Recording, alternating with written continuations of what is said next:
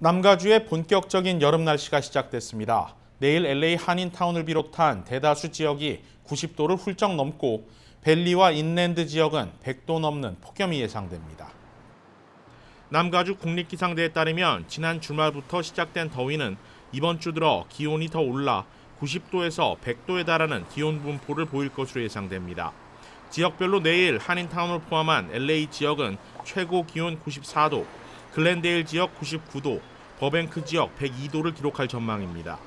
한인들이 많이 거주하는 LA 북쪽 샌퍼난도 밸리 지역도 100도를 훌쩍 넘는 기온이 이번 주 내내 이어질 전망이며 우들랜드 힐스는 낮 최고 기온이 105도에 달할 것으로 전망됩니다.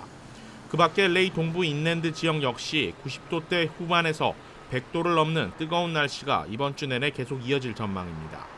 남가주 국립기상대는 현재 LA와 벨리, 오렌지 카운티 등 남가주 대부분 지역에 폭염주의보를 발령한 상태입니다.